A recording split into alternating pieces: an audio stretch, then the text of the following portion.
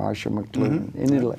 Okay, so good to see you, get you here. Thank you. You're looking good, and the book is magnificent. And I thank you for coming in. It's a great pleasure. And in the audience, welcome very much to Conversations. Pleasure to welcome to the set um, uh, Jack McLean. He's the author of a really very, very interesting, beautifully written, if I may say so, right at the outside book called Loon, a Marine Story.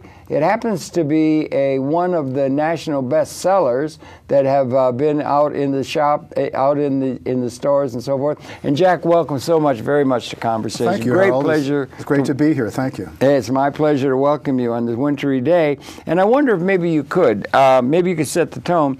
The book is so well written. It's it's engrossing. It's very hard to put down, and it's a story of your own life. So that might be a good thing for us to wade into. Your life. You were born into a unusual situation and had an unusual situation by which you came to be in the Marine Corps.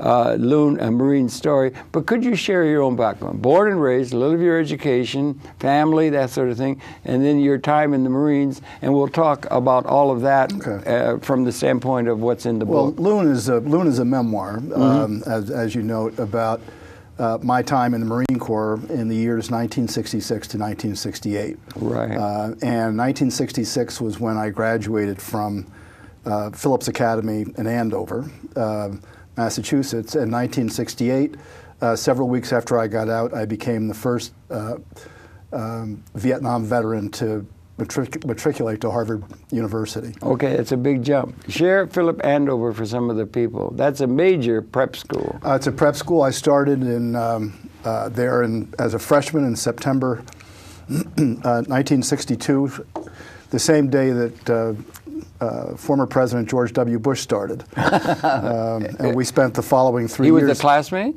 No, he was a year ahead. a year? I took an extra year, so he we I, he graduated two years ahead. Oh, I see. So you were in. But we spent three years together. Mm-hmm. Um, and did you know him at all? Or? Well, I knew him. I, mm. not. We didn't. We didn't.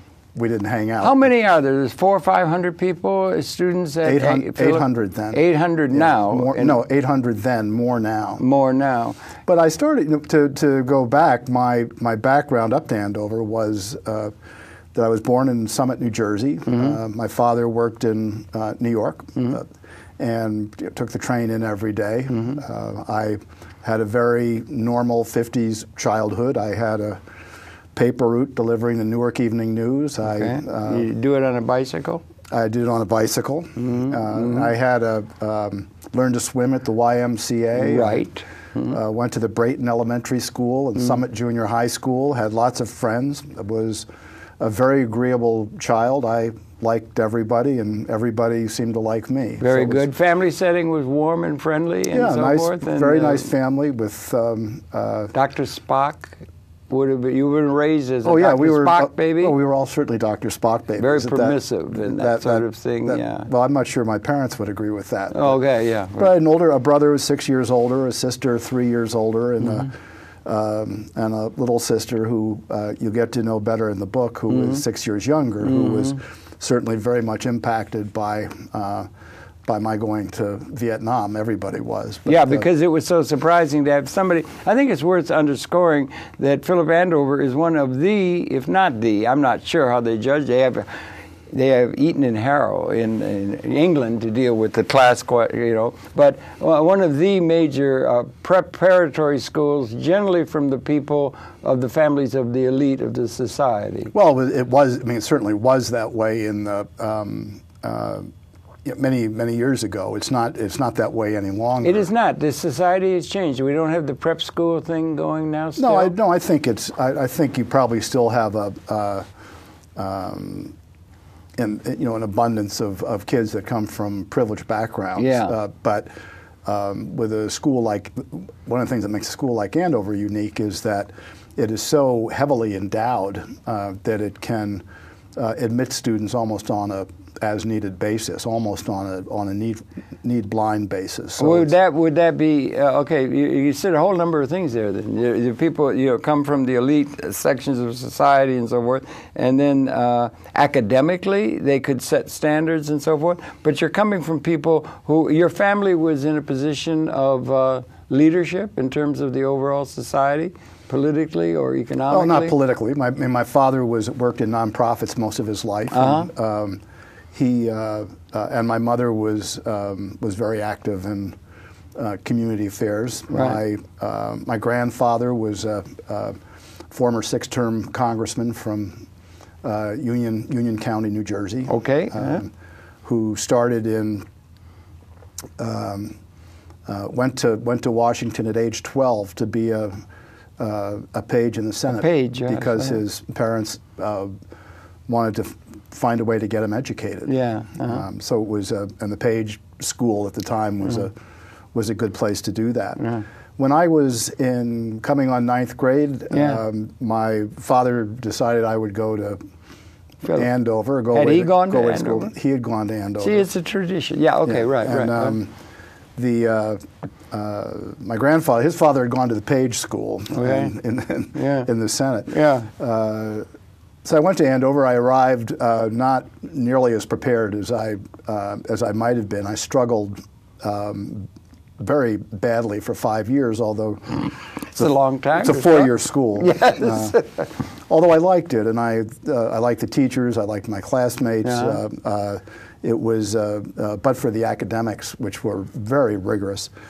On Had uh, trouble with trigonometry right up to the end, if I'm uh, right to the end. That was the, the final thing. And Yeah. I, um, uh, I found out the day before graduation that I wasn't going to graduate that, Uh-huh. uh, because I had Because not passed trig. trigonometry. Uh, but I took a, but prior to that, in March of my senior year, Mm-hmm. uh, when I was home on on uh, vacation, Mm-hmm. uh, I got my last turn down letter from a college. I'd applied to five colleges Right, that was fine. and uh, and I Andover could have gotten me in somewhere. I would Uh, have thought, yeah, yeah. but I decided that I'd sort of played the game, and I was really exhausted academically. I didn't really want to. I, I just didn't. I, I the day that fifth letter came, there was one college. Was it City University or something? No, it was uh, actually Colby College. Colby College. You were probably, that was the last one. Ford refused to have you as a Yeah. student coming into the university. They were the last And then one. that, that was a day of some uh, chagrin or upset or something when that letter came, but it was a turning point. No, it was actually yeah, it was actually a turning point, and I I um, I was home in Mm. then Brookline, Massachusetts, where my family was then living, and Mm. uh, and thought that I uh, I really didn't want to go to college anyway. I thought I'd given it a good, honest try. Uh, I was also in danger of flunking several courses, which ultimately I did. One, Yeah. Uh-huh. um, and. It was 1966. It was March of Wow. 1966. There was a draft. Yes, Still. that's right. Uh, so you had two That choices. was still from Korea, right? well in Yeah. before, yeah. Yeah, yeah, So yeah. Mm-hmm. you could go to um, college and get a deferment, or you could um, go into the military. Yeah.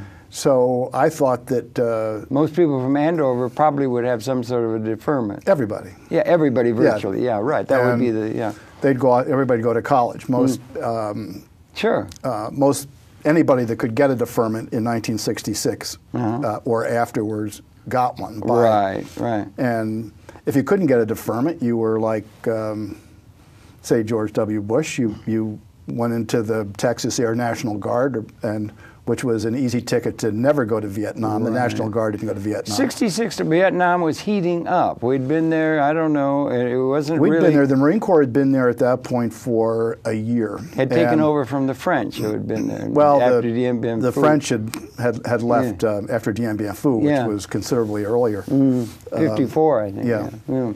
But this was um, Vietnam, as I as I say in the book, in, in March of 1966 was still a country and not a war. Yeah, right. So for people As you went in. as I went in. Okay. So for people that whose experience I'd look at, um, Right. that might be my brother's age, say Yeah. six years older than Yeah. I, um, uh, or of, pardon the expression, your generation. Yeah. Yeah, in no, the, in, right, the, yeah. in the 50s Yeah. would. Uh, would go in and they'd serve for two years. They'd get drafted or they'd enlist. Maybe Yeah. they'd go to Germany or Japan. Yeah. Um, You'd go to guest houses. Maybe they'd go on um, guard duty someplace. Maybe might- they'd go on a ship for a, a year or two Like a, like a cruise. and that would be that. Yeah, right. Uh, and they'd come back, and uh, so I thought, well, I could, you know, I'll go to Germany or I'll go to Korea. Or, was it a big decision to go into the military? Or You made that decision after well, that? it was not a. It, You wrote about it very poignantly. it, it was, and, Mm-hmm. and um, uh, but it Talks was with your mother? well, yes. I'm not sure. I, I talked with my mother. My, Will you talk about the, at that time? Yeah, okay, yeah. I mean, my mother, uh, my mother talked to me a little bit, and um, and I responded. And I think what was clear to me Yeah. was that I um, I was either going to go to college or I was going to go in the military. okay. And I wasn't going to try to get out of the military. If they saw that I wasn't fit, that would be one thing. So Mm. yeah, that's I. Um, um, uh, so I went down to, and I decided I was going to do it for two years. That's as much time as I wanted to take. Mm-hmm. you were able to do it for two years? Uh, Only? Yeah, as it turned out. Yeah. Mm-hmm. Um, And so I went to the Army, and it was, uh, you could volunteer for the draft, and it would be two years, but you may not get drafted for a year, so it would effectively be three years. The Navy was four years, the Air Force was four years. Even then, you couldn't get near the Coast Guard or the National Guard or- because anybody who had any influence was. Was Going getting into in- Navy. No, getting into the Coast Guard or the or reserves or National Guard, all the sort of easy That was to avoid duty? all the easy ways to, Yeah. to, Okay, to yeah. sort of get in it but get get out of it. Yeah. Uh, and then I went and visited the last place I visited in, uh, in the old Customs House in Boston was Yeah. the uh, was the Marine Corps office, and they said "If we got a deal for you. Yeah, Um, make a Marine out of you. we uh, we have a we have a new two-year program. Uh-huh. You can enlist right now, Mm-hmm. and then go in after you graduate, and then get out two years later. And I said, well, gee, that's perfect. You know, I'll go Uh-huh. In and in June or July, then I'll get out in June or July. Two Go years to later, college go to college, Yeah, and, and I'll have two years, and I'll have an experience, and You would pick up the GI Bill then, too. and also get the GI Bill, which Right. uh, I used to uh, pay for college. Yeah, that was a major thing that helped this country. Yeah, but Uh, Sure anyway, was. go ahead. Yeah. And and um, uh, so I uh, I did, much to the shock of my Everybody, my family, uh, people at Andover. You've done what? Yeah. and um, and I I just to me it just seemed obvious. You know, I was brought up uh, in a I hate to use the word, but in a you know in a patriotic environment. We used to. Mm-hmm. Uh, adore people like Audie Murphy or Yes. the heroes of World War II. Right. We played He played did. war and played guns and Sure. did all the things that, that kids back at that time did. Uh, but it was also, uh, there was no question in March of 66 that uh, it was still uh, an honor to serve one's country. And the, the, the an- what was ahead in terms of the Well, social changed- fabric was still in the future. It, yeah, it changed dramatically. I Yeah, mean, from right. the time that I enlisted in March until the time I graduated in late June, uh, it really was heating up. And by the time I went in in early August, Uh-huh. um, it was really hot. By the time I graduated, August of 66. 66, It was starting to get really it hot. was, it was just it was going up.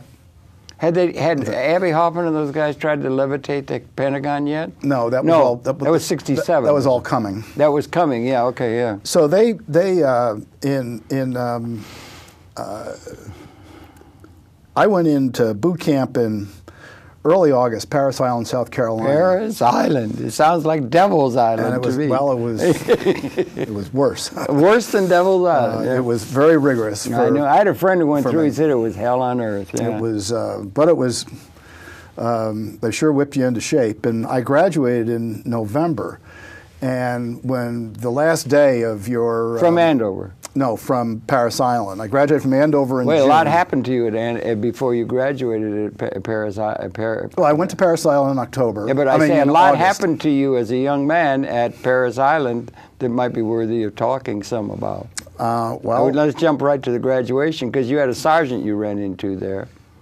well, I didn't run into him. He, Well, he ran into he you, ran rather. into me. Yeah, yeah, I, but- I wasn't in the. Yeah, but it was very illustrative of uh, uh, you know the military, in a sense. And you were geared toward the military. Did you have any political thinking about Vietnam I or had anything? no- you hadn't done that. I had no political thinking. I had nobody in my my family. and you were a nice guy. Everybody liked you. You Yeah. were a nice guy. You got along with everybody. You always do, right? And everything. So Still you were like that. Yeah, still are. You know, but, you know, I, I was the only, uh, and this was true for the whole time I was in and beyond. Uh, I was just about the only person that my family or anybody that my family knew that was in Vietnam. So none Mm-hmm. Yeah. of my, my, my family didn't know anybody, my siblings didn't know anybody, my my family's friends, their friends. Nobody knew anybody who was either in the service or in Vietnam. That sort of thing was uh, for the people that were of a different class. It was so rare. So rare in your in, circles. in um, for anybody that, and so when I, um, uh, you know, that being the case, when I, when I one thing I, I, I did when I first got to Parris Island was made sure that I kept a journal in the form of That's right, in the yeah. form of letters home, and so That's a good general thing for life. when it came time to um, write the book, uh, which I started writing in about 2001, Mm-hmm. uh, I had 110 letters that I'd written home from the time that I arrived at Parris Island until the flight home from Vietnam two, Yeah. two years later. Right, yeah, great, great Um, research. Yeah, great research, Richard. Yeah. But when I, on graduation day, uh, day before graduation at Parris Island in November '66, just showing how things escalated, uh, the um, I'd say fully half or better of our graduating platoon of 100 kids got orders to go infantry to Vietnam. They sent you to some other thing. And they sent me to supply school, which is Right. sort of what I figured would happen. And and uh, and I went to Camp Lejeune, North Carolina, and I studied supply and learned how to type. And they sent me out to a, a big supply center out in Barstow, California, in the desert, and I did that for about six months. And now it's the um, it's July of 1967. You would have been a private in the Marine Corps. I was a by then I was a PFC. Actually. Oh, PFC, you made PFC. Made PFC. Congratulations. Well, yeah, it took me two years to get my PFC stripe. For I don't want to go into my thing, but anyway, that's good. But were you gung ho? I was What as, they would call gung ho, or No, were you I looking was- at it askance? Were you seeing it like a Kafkaesque movie, or what was your attitude? No, I was. I, I think that I uh, I'd I'd taken a deep breath and jumped in, and and I would take whatever they they gave me. Yeah, And, and they gave you a lot. and they gave me uh, A lot of- I mean, boot camp was very difficult, but working in a supply warehouse in California desert wasn't difficult. was it air conditioned? Uh, it was air conditioned. Okay, good. I'm glad to hear. We live in little Quonset. Right, right, right, right, right. Uh, and uh, I went home for my annual leave in July, and now it's July 1967. Things Oh. have really heated up. July '67. Yeah. Oh, yeah. That's beginning so to be. when I came back after big demonstration in '67 on both coasts. everything, Yeah. and when I came back to Barstow in uh, late July 1967, Hmm. um, they had eliminated all of our jobs for those of us that were sort of in my class. Yeah. Um, replaced us with women Marines. Okay. Um, 'cause our, what we were doing was mainly clerical. Getting ready Changed our orders to, as they say in the Marine Corps, 0311, which is infantry. Right. Mm-hmm. Combat infantry. And uh, That's an MOS. Is Yes, it? it's Yeah. our, our MOS, and sent us down to Camp Pendleton, which is the big West Coast training California. center for the Marines, uh, to retrain in the infantry, and then several weeks later, sent us all to Vietnam. Okay. Right. Yeah. And so I joined. I went from being in a supply warehouse right. to uh, being um, a wonderful thing. I had a.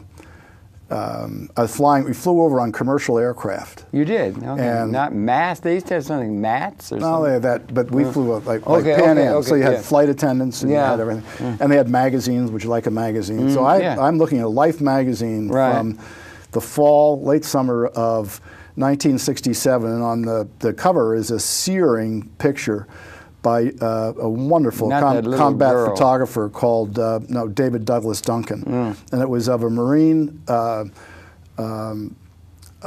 a marine in a in a foxhole in the fog, looking out from the foxhole in uh, Con Thien, Vietnam, which at the time was under uh, been under siege, Mm-hmm. and Duncan had taken some just extraordinary photographs Okay. Mm-hmm. uh, during his time with the Marine Corps there. It was the northernmost outpost in Vietnam along Mm-hmm. the demilitarized zone, and uh, I looked at that thinking, and the other and the pictures inside Life magazine, thinking this is wow, this is really, I mean, this is like World War II or something. I mean, this is really right. big time. You didn't know a fellow named Philip jo- uh, Phillips Griffith, did you? Photographer.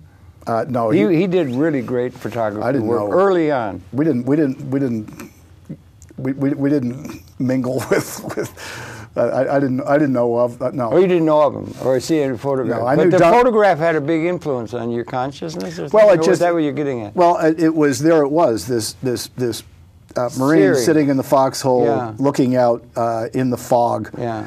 And uh, 10 days later, I was in the same foxhole Uh-huh. with the same Marine Yeah.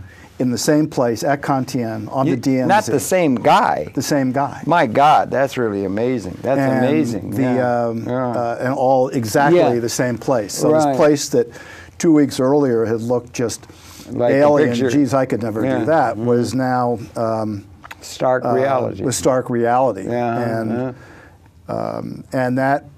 Uh, What was your began. attitude at that time? Can you and you have those letters? That's wonderful. You have those letters. You were writing them consistently back Yeah. home, sending them back, and they're saved and everything. That's really good record of that. What was your attitude toward the whole Magilla, as they say? Uh, the anti-Vietnam thing was starting to really get serious, and what was your attitude toward it then? They had taught you.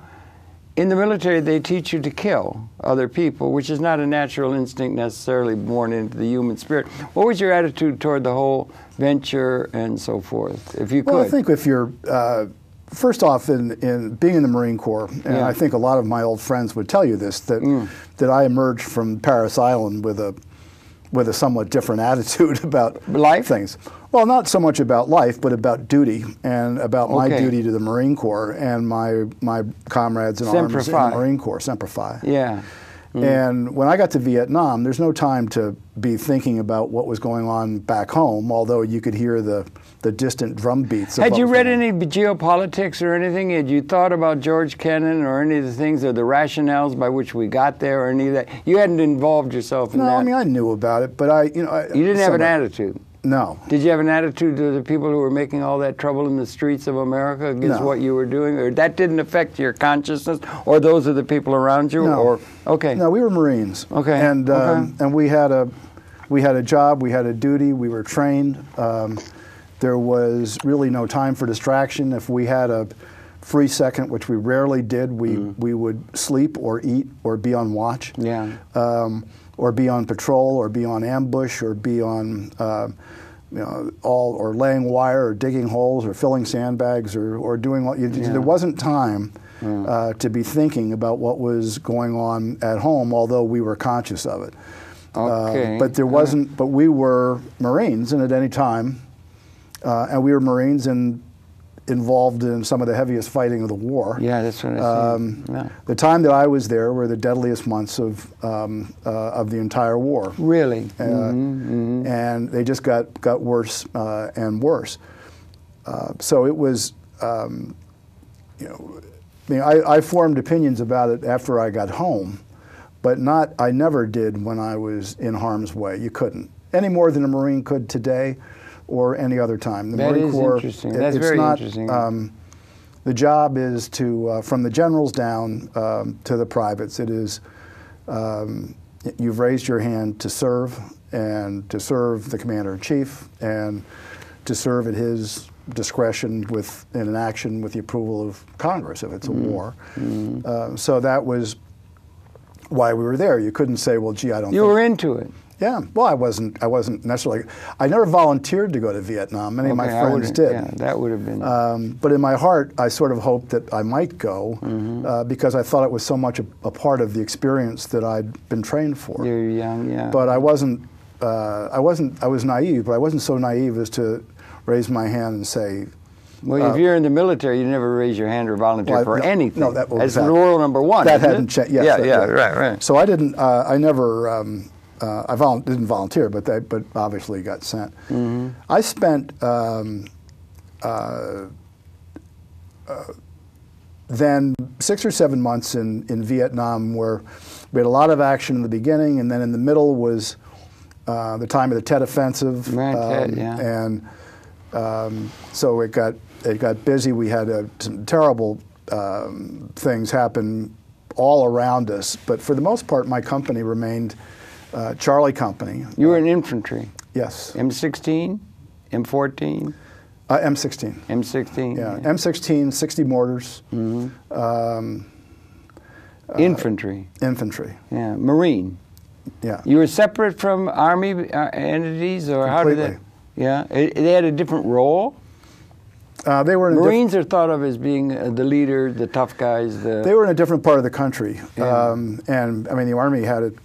Um, you know, being a, every bit as tough as the Marine Corps in a lot of the places they were. I mean, it was no, um, but we just happened to be, at the time I was there, we occupied the northernmost tier of was called the Northern I Corps or Mm-hmm. One Corps of the, of South Vietnam. Mm-hmm. So the whole area along the demilitarized zone between um, North and South Vietnam, Right. and also the western part of South Vietnam, which uh, bordered uh, Laos, um, where the a lot of the on the then called Ho Chi Minh Trail, where Yeah. a lot of the arms and, and men came down uh, to avoid um, being in Vietnam because Yeah. the U.S. theoretically wasn't allowed to go into into Laos. Right, right, right. So that was where the Marines were. So they were really the first line of defense, if you will, against the North Vietnamese army.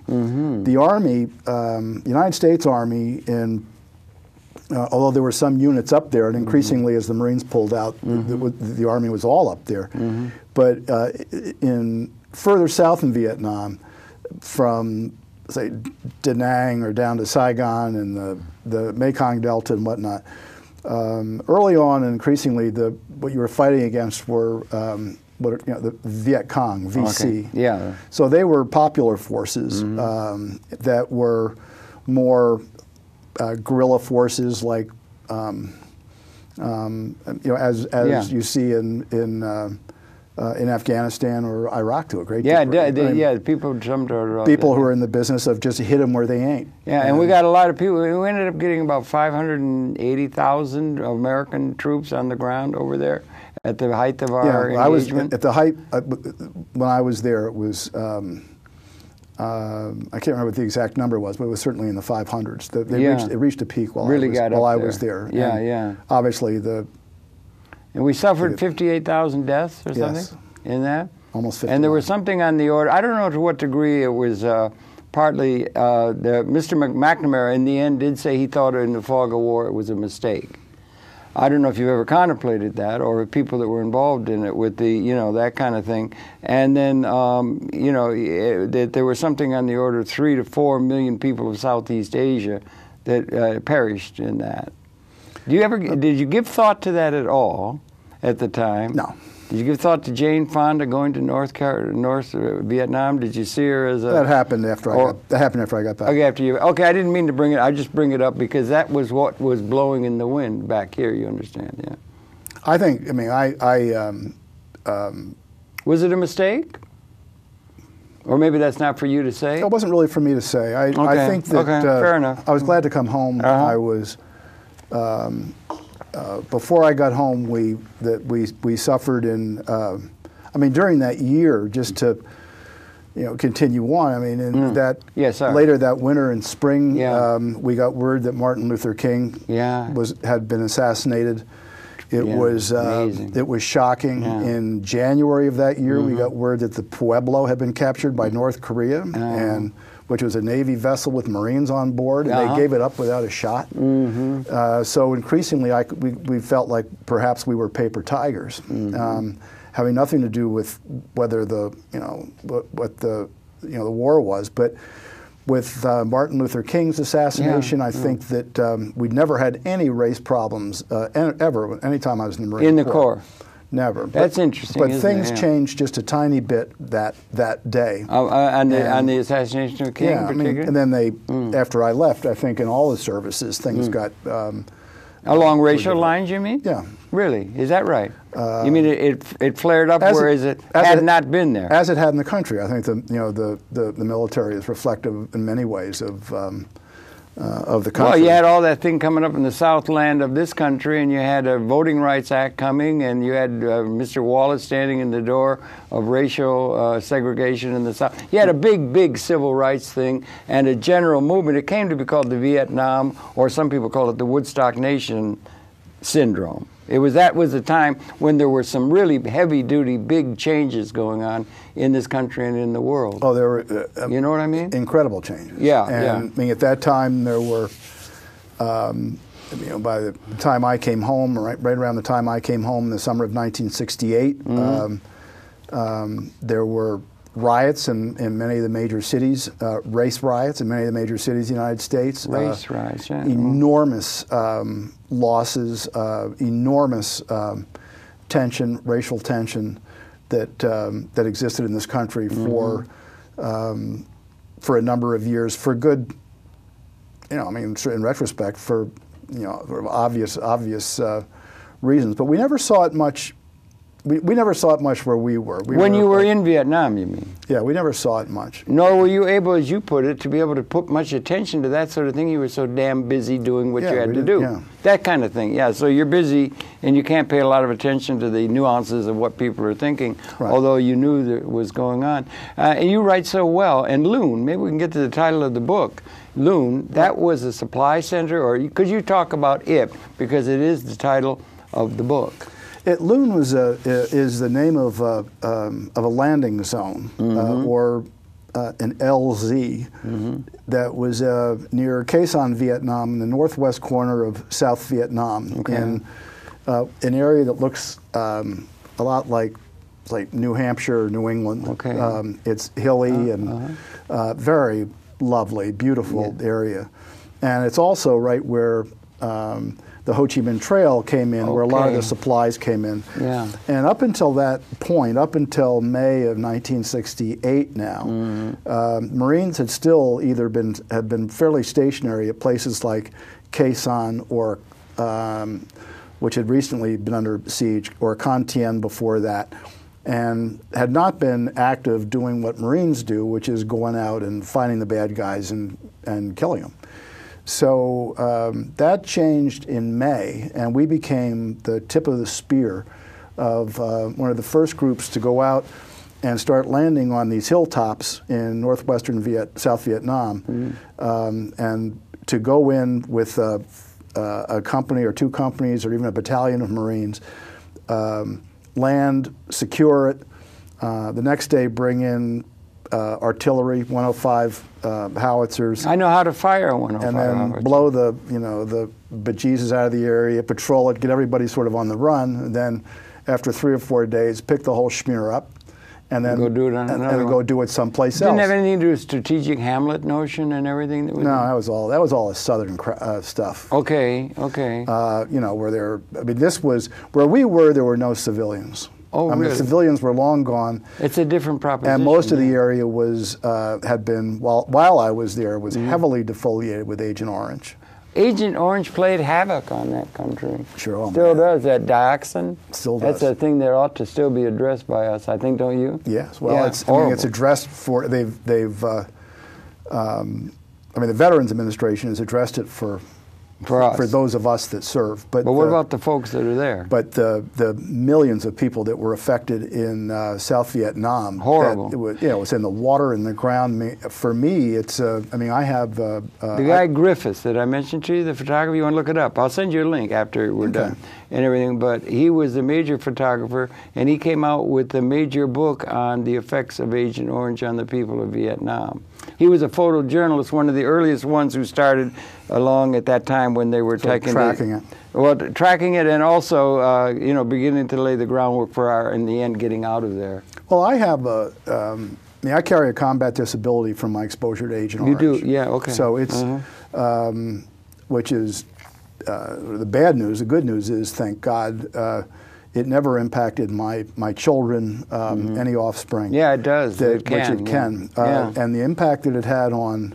Now I was there for a little less than a year. Uh-huh. So imagine um, it, you know, being born there and living there for the next 20 years Uh-huh. after we were gone, uh, and having it in the water, in the soil, Mm-hmm. Yeah, right. in everything. Yeah. Uh, it was just, um, and what it, and, and it manifested itself hideously with Yeah. birth defects, with um, uh, just the most awful Yeah. um, stuff. well, the whole thing, war is hell and everything, but when you're in the middle of fighting it, you don't have a lot of time to think about those things. no, you can't if say. you're a Marine. Excuse me. yeah, to stop the stop the film. I want to get off. So you know, we landed. We landed Mm. on on what was LZ Loon, um, and a beautiful day. And um, we, after we'd been there about a day, we started to get have um, the North Vietnamese uh, shoot rockets over us, big rockets and artillery from a place in Laos 12 miles away called Co Roc. Uh-huh. It was the same place that,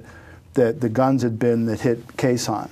Oh, wow. And they were dug into mountains and they were in Laos, so they were almost impossible for us to get at.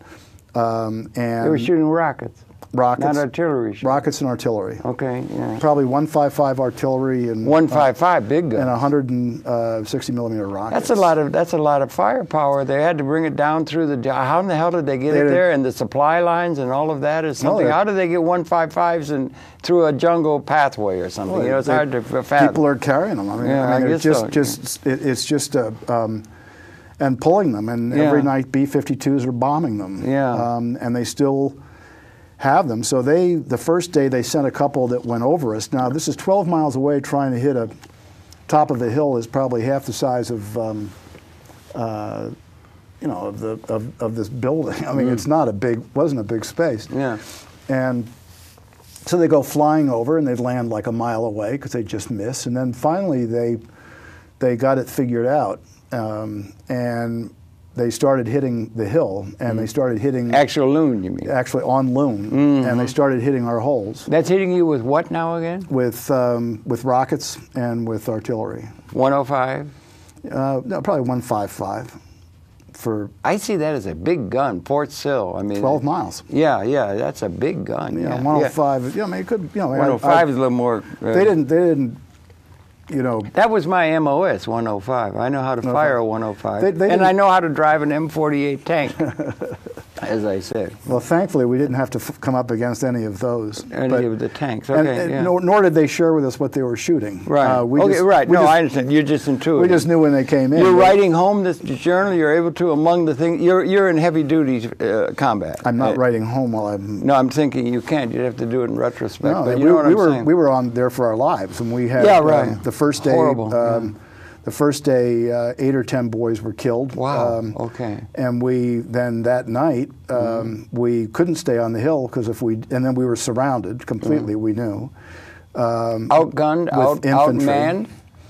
and, uh, and it turned out we'd landed on top of what was probably a regimental headquarters. Uh-huh, They were all dug in underneath us. Wow. Um, so that night, our uh, company commander, Bill Negron, who um, received a Silver Star for his actions Mm-hmm. on Loon, uh, moved us to an adjacent hill. Uh, once the uh, dark came, we took everything we could carry, which was leaving a lot How of many stuff. of you were there? When we went in, there were Did you probably say it was about a platoon? I mean, not a platoon. no, there I were mean, two, a, a two battalion? companies. Charlie Two and, companies. yeah. Charlie and Delta Company of the First Battalion, Fourth Marines. Okay, and that's a what's that? A couple hundred men? Yeah, they were. Well, we were all understaffed, so maybe each one when we went in had, you know, 150, 140 guys. Yeah, There were about okay. 150 guys in Charlie Company, Right, right. and um, we lost uh, um, probably, you know, 10 dead, maybe 30 wounded the first day. Wow. Um, we weren't able to get the dead out. We did get the wounded out. The Good next God. day, we, or that night, we moved to the next hill because you know from artillery that it Yeah. would take, um, after the sun came up, it would take them a while to adjust their fire Right, from one right. hill to the next. Right, right. And we figured during that period we might be able to get some helicopters in to get us out of there because Yeah. we were obviously not in a good You were getting support from behind? Uh, we- Adequate support to support your effort from Uh, well, we had earl- before the before the uh, the, the barrage, The barrage, started, yeah, but nobody right, was right. coming in when that was going right. on. Okay, yeah, okay, yeah. And then, uh, so the next day, we, Hmm. we woke up on this adjacent hill, having left our dead, having left a lot of our ammo, everything. Didn't have to the- leave any wounded, that we did couldn't. you? No. Okay. Uh, and then that day, the the last day we were on Loon, June sixth, uh, 1968, we were um, effectively overrun. So they, Wow. Uh, they penetrated our. We were surrounded. They penetrated our lines. Um, we didn't get hit with the artillery anymore. Mm, well, but they. Um, Was uh, it hand to hand? It was uh, on on Long Delta Company lines. It was hand to hand. They Good broke through the lines. How horrible. Um, we had um, we called in uh, our own um, uh, artillery on us to explode over us, wow. um, and uh, because we were intermingled with in many places along the lines, we were intermingled with North Vietnamese regulars. Right. So we got the word, you know, when to get down when when the when the artillery was coming, and it came in as air bursts, And they would do it in air. Okay. and it would air, so it would all explode like above this ceiling, And they were that close to where that was effective to attack them. and it get them all. Wow. And uh, without getting us, because Yeah. we would know to be in, you know, be in the holes. You'd get some shrapnel. That's a your, pretty careful piece of choreography. it You get seems some- to well, it was- But good that- thing you'd better have good radio connection. And then we had close, yes, Hmm. we had very good uh, radio communications and uh, very talented people in. Um, um, you know, we- Bill Negron was a was a brilliant commander and and had good sergeants and good, um, um, All Marine? oh, yeah, all Marine. Yeah. And we had a. Um, They've got that reputation of being really good at what Well, they when do. they when the time came, Yeah. Mm-hmm, uh, everybody did their job, and they did it. They did it well, and because they did, we're um, I'm here. The um, uh, we got close air support from helicopter gunships, Mm-hmm. from uh, Phantom jets, dropped napalm, dropped high Mm. Napalm explosives. was so horrible. They were dropping napalm within 50 yards of us. Good Um, grief. Mm-hmm. that's how close everything was. Um, and by the end of the day, then they, they were able to get, um at about three in the afternoon, they were able to get a, one helicopter in during a little bit of a lull to get some, a part of the company that was isolated, Mm-hmm. had become isolated. And they got them out. And then the helicopter got about part way up and it was shot down. Mm-hmm. Um, now we're on top of a hill, so it you know it, it went down, exploded, and and rolled down the hill, and that killed um, um 18 boys. Then 17. Uh, two or three survived, or maybe four. Um, that was when we all stood up and sung the Marine Corps hymn. Really? So they would uh, to let them know where well, as a screw you to the enemy, but also to let we knew that the people who had survived the crash, if there were any, would be very disoriented because they were they gone they were down in the jungle, in the bottom of the hill, um, and so we wanted to let them know where we were and where Right. safety was. Um, we were able to to get them to find them um, and. Uh, and get them up with us, and then at the by the end of the day, when um, at nightfall we were going to leave the hill uh, and just head off north in groups of three to um, um, and just what they call E and E, escape and evade, uh, uh, in little groups of three on the theory that we'd, you know, some wouldn't make it, some Out would. of the original, what you said, two, 150, 200, how many, how many were, uh, how many uh, survived? If that's right, you're one. uh, one, yeah. Yeah. Uh, Bill Negron's one. Yeah, yeah. Um, from Charlie Company, um, well, uh, five helicopters worth. So. Well, there's helicopters, 30, big helicopters, 60. small. Yeah, so it would probably be maybe 60 guys. 60 guys killed or not? No, left. Survived? Out of out of the whole And two the rest, companies. And the rest were killed and wounded. boy, oh boy, that's a heavy to- toll. Yeah. On your side, did they have tolls like that on the other side? With the to- was They didn't, there? they didn't. They didn't keep us in the loop. No, no. They said that we killed. Um, but when we got out, uh, because we had to, we got out so quickly at the end of that last day, uh, we were not able to take out any of our dead. Okay. Um, so we left. Uh, well, but again, you could take all wounded. all the wounded got out. Yeah. And a lot of the wounded were able to get out on, on, on. Yeah. On, on, a, on a couple on some medevacs during the Yeah. battle, Okay. where smaller helicopters were able to get Right, in. right, right. Um, so we went back a week later, um, Back to Loon? back to Loon Mm-hmm. to recover our dead. Uh, really? And um, so they prepped the mountain, they dropped us in under a big smoke screen. And so we got to see the, the, uh, the, the battlefield, yeah, the right. carnage. Yeah, and um, there were, yeah. there were bodies about. So well, there were, you know, there were 36, body parts. there were 36 of us Mm, yeah. um, um, that, that we had to pick up and put in bags. The guy, we had to peel the guys out of the helicopter um, that, you know, which had, which had yeah. burned badly. Yeah. Um, there were um, uh, dozens and dozens and dozens of North Vietnamese soldiers everywhere um, that were that were burned, that you know suffered from the napalm, um, that were, um, and we left uh, we left them for, for them to take. We took we took ours, we put them in a um, you know in a big cargo, put them in bags, and put them in a car. There's a, a picture at the beginning of Loon of Yeah. us Uh-huh. carrying one of the bodies up Yeah. to the to the um, to the landing zone that was Right. taken by a Yeah. Mm-hmm. AP photographer who was with us. Uh-huh. And that was that was Loon, and that was the centerpiece of uh, of not just my experience, Yeah. but the experience of most of the fellows that I that I served with. I went home. That was June sixth. We found out not for five or six days that. Um, coincident to June 6th also was a day that Bobby, June 6th is um D-Day, that was D-Day. as it happens. Right? But June 6, 1968 Yes. was the day Bobby Kennedy was shot. oh no, really? So Isn't that uh, amazing? I was in California and I remember it. So that was it was really a so for the next two months that I was in Vietnam, it Mm-hmm. was we were in the hills. It was summer. It was hot. We were doing continually landing on hills, bringing in artillery, um, uh, then going on patrols into the jungle, suffering losses. Um, um, very very heavy, arduous. Um, um, uh, fighting and service under very, very tough um, circumstances.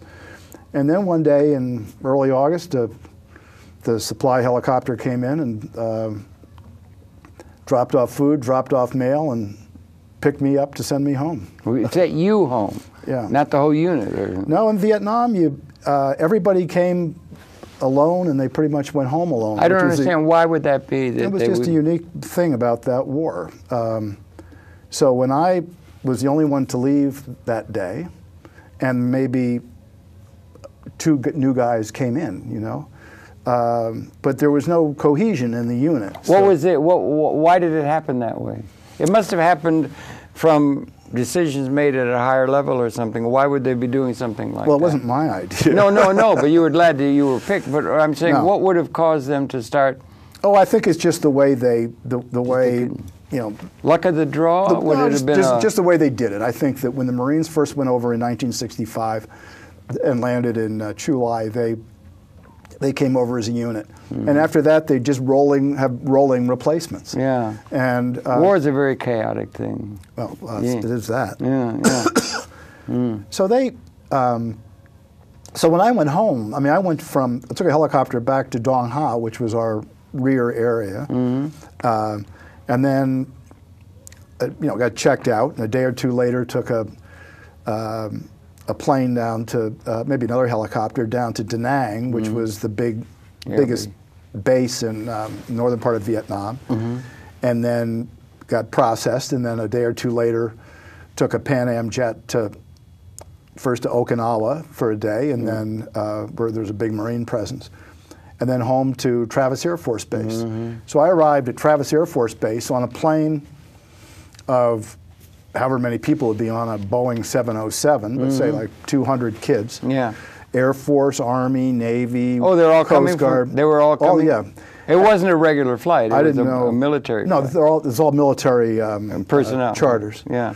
But there was nobody that I'd served with. There was nobody Oh. that was, you know, even in my battalion that, Yeah. that was there. Five hundred and fifty thousand is a lot of people. And then when, but but we all came over just sort of by ourselves, and we all returned just like as, Yeah. as single people. Uh-huh. oh, that's interesting. So when I got home, I landed at Travis Air Force Base um in California, and my sister lived in San Francisco, which Hmm. was about an hour away. Uh, and I called her. Uh, I was going to. she didn't know you were coming. No, nobody knew. Um, and uh, You I was going to get discharged. had you been able to write letters home to your family that had anything to do with Loon or anything Sure. like that or No, anything? Nothing was censored. I, I, yeah, I wrote. No, but what did you have the time and state of mind or whatever that made it possible for you to make a record of that Yeah. as it was going on? That's very good. Yeah. But I, you know, but it was all Mm. with. It was also with. Uh, um, I mean, I sugarcoated an awful lot, but sugar coated. well, for my parents, you know, I didn't want them to be, Right. No, I understand. you know, yeah. be concerned um, Mm-hmm. that. Uh, the, the picture that is in the beginning of the Yeah. book appeared on the front page of the New York Times. Did it really? Yeah. And Let's see if I can get it. my, Go ahead. my mother uh, Mm-hmm. uh, cut it out and sent it to me and said, "Gee, this sounds like your description of you know, of your group. Uh-huh. and is this the one you mean? Yeah, that's the one. So I'll hold this up. If you can bring it in, maybe you can see. This is a picture, a little grayed out. This is a picture that was uh, there that he's referring to. yeah, it's hard to see, but this is a. Um, Here, let's see. you could see a. Um, Here we go. Uh, you better come out a little bit there. Come out a little bit, or I'll come back. Okay, there we go. well, that's a. It's a flag we took from Tom Morrissey, who was our machine gunner who was killed on Loon. Uh-huh. He always kept it in his pocket, and we Mm-hmm. recovered it, found his stick, that looks a little bit like the thing on Iwo Jima. and then on, you know the famous photo. Yeah. Yeah. And then on the left, you could see uh, three Marines carrying a, um, a plastic body bag Mm-hmm. with they're just bringing up one of the dead from the uh, from the helicopter. Mm-hmm. And what's interesting to me personally about that picture is that it's right. Uh, that spot right at the sort of at the base of it is where my hole was um, Your during the hole ar- that you had seen on the, the plane as you flew over there. during no well, no, that was well, this was a very was different, place. Yeah, this right. was during the artillery um, uh, attack on the on the fifth of June. Mm-hmm. Um, but it was we had one photographer came with us, and he um, we'd never had press with us ever, but they took that shot, Mm-hmm. um, and it was. Uh, Made the cover of Time, uh, Time uh, New York Times. it, it was it made the it was on the front page of uh, of the New York Times. It was also in Time magazine. Oh, right, right. So it was it was uh, um, uh, but my um, you know when I when I got home I was getting I was going to get discharged because I was going to start college in a couple of weeks. oh, that's right. So you, you had that thing, there was a two-year deal. Navy base at Treasure Island on Yeah, there is. Yeah, uh, was. San. Francisco. Yeah. So that was where I was going to get out processed. So I waited for my. So I sat alone on a curb at Travis Air Force Base, waiting for my sister to drive and brother to drive from San Francisco out to pick me up. Everybody else got on buses and went to other flights or other places that they were all all going, scattered to the wind. And You had to be mustered out yet? You were still. Yeah. Yeah. Okay. Yeah. Okay. so they came and picked me up. So now I'm alone for the first time in almost a year, just Sitting on that curb. sitting on a curb.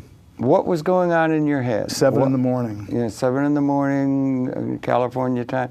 And what were you thinking about? And what's How going quiet on? it was. Why it was. quiet. It was. Quiet. It was just silent, um, and it made me realize how just the constant 24-hour noise of being in a battle or a battle zone. There's always uh, um, artillery going in and out. There's always planes flying overhead. There's always helicopters overhead. There's always something going on. There's just act, action, uh, activity, even if it's not battle.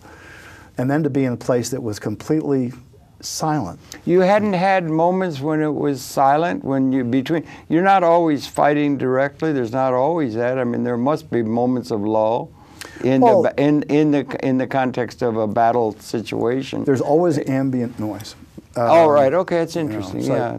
like Just my- the, the I- whir of war. Huh? Something. Yeah, I mean, there's Whir. always uh, um, equipment clanging. There's, Yeah, right. There's always helicopters overhead. There's Yeah. always uh, uh, people shooting off mortars, you know, going out, and a lot of it's out outgoing. We've only got about five minutes left now, right, to the program here. So I'm wondering, you're sitting there in California, and I know you were destined to go and become enter Harvard, uh, you know, and so forth. After all of this experience, what were your thoughts? What are your thoughts on your experience at Loon and on the uh, the thing that you were so engaged in that you've written about in retrospect?